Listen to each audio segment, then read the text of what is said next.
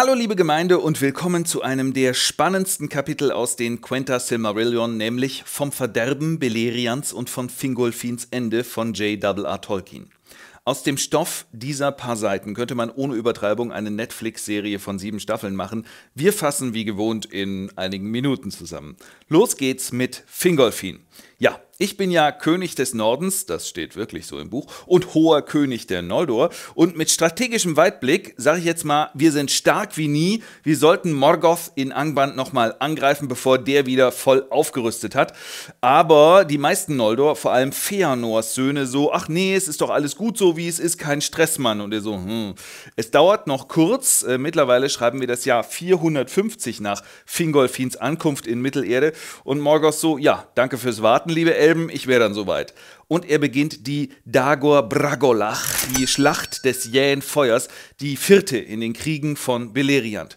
Morgoth schickt jetzt Ströme von Feuer, angeführt von Glaurung dem Goldenen, dem Urologen, also Uroloki, dem Vater der Drachen, Feuerdrache. Jetzt voll ausgewachsen, gefolgt von Balrogs und Heeren von Orks, die den Belagerungsring um Angband einfach mal wegwischen und wahnsinnig viele Elben und Menschen erschlagen. Unter den Opfern sind zum Beispiel Finafins Söhne Angrod und Eignor. Aua! König Finrod wird am Sirion umzingelt. Aber Barahir aus dem Hause Beor schlägt sich zu ihm durch und kann ihn retten. Und er sagt: Danke, äh, Freunde forever, hier hast du meinen Ring. Und nachdem Barahirs Bruder auch tot ist, ist er jetzt der Fürst seines Hauses Beor. Ja? Hador Goldscheitel, wir hatten ihn vorhin erwähnt, ist wahrscheinlich gerade beim Frisieren. Er fällt jedenfalls vor Aethel Sirion, kann aber verhindern, dass Hithlum im Westen erobert wird. Im Osten, bei Feanors Söhnen, sieht es übel aus. Kelegorm und Korofin fliehen einfach. Ah! Maedros ist der einzige, vor dem die Orks richtig Angst haben. Kommt nur her. Nach der Marter auf dem Thangor Rodrim habe ich noch eine Rechnung offen. Grrr und die Orks so. Bah!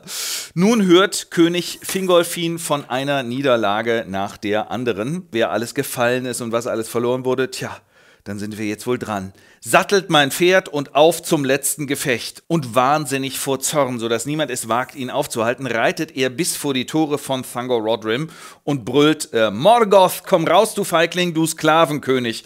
Und Morgoth sagt, boah, immer diese Helden. Und er so, feige Sau, jaha, ich komm ja schon, Nervensäge. Sag Hallo zu Grond, dem Unterwelthammer. Und bang, schlägt er immer nach ihm. Aber der Fingolfin ist schnell, ja, und äh, weicht ihm so Yoda-Style aus. Und pieks sticht er ihn jedes Mal siebenmal. Aua, hör auf, du Mistvieh! Und der haut ihm den Schild kaputt, kann man bei uns schon gar nicht mehr sehen, so kaputt ist er.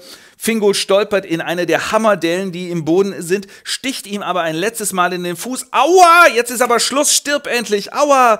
Er ist tot, na endlich, frisches Wolfsfutter. Da kommt unfairerweise der Adlerkönig Thorondor und äh, hackt ihm noch das Gesicht kaputt, irgendwie, aua! Und dann schnappt er sich den Leichnam und transportiert den einfach weg. Und er so, boah, ich hasse Elben und jetzt bin ich auch noch vernarbt und hinke. Schlurf, tock, schlurf, tock. Thorondor erzählt allen von Fingolfins Ende. Sein Nachfolger wird Fingon. Und der Morgoth sagt, hm, immerhin habe ich jetzt die Kontrolle über den kompletten Norden von Beleriand. Den kompletten Norden? Hm nicht ganz.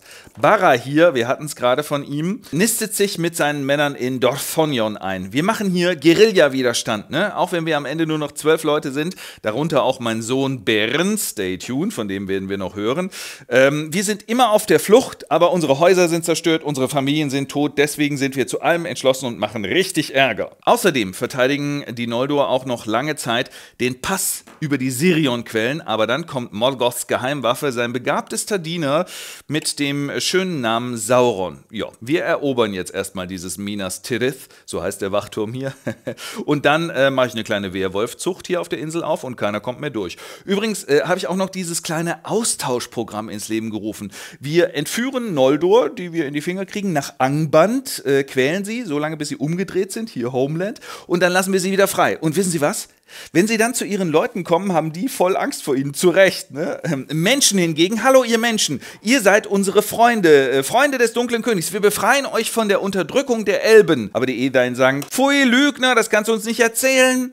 Zu dieser Zeit kommen auch die sogenannten Dunkelmenschen nach äh, Beleriand.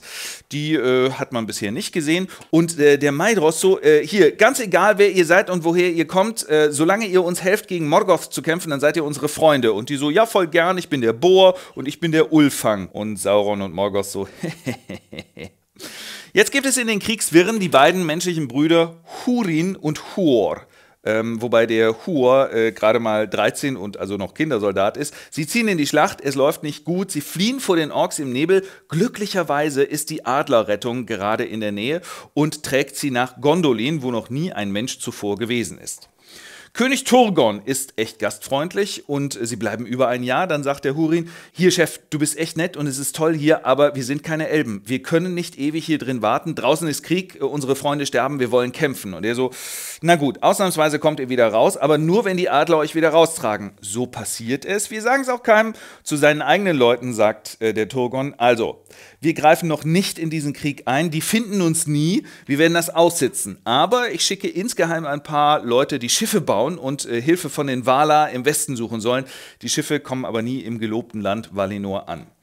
Und äh, Morgoth ärgert sich immer so ein bisschen, sagt, ich höre immer diese Gerüchte über versteckte Geheimstätte von den Elben, äh, dieses Nargothrond und die andere, von der ich noch nicht mal weiß, wie sie heißt. Findet die gefälligst! Und er schickt Speer aus. So, die Schlacht dauert schon sieben Jahre, Zeit für eine neue Großoffensive. Jetzt ist Hithlum dran. Hurin, gerade noch in äh, Gondolin, verteidigt jetzt gleich mal einen äh, Pass in äh, seine Heimat. Ja, weil mein Papa hier gefallen ist, aber die Orks kommen jetzt auch von Norden und es wird echt echt eng.